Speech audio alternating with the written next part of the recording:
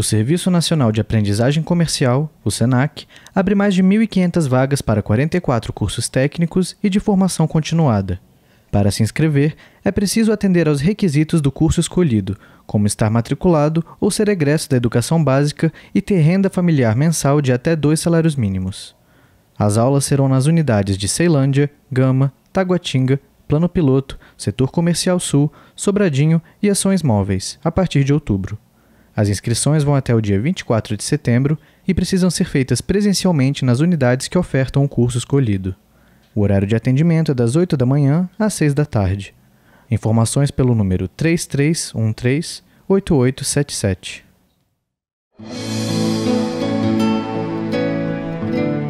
TV Suprem.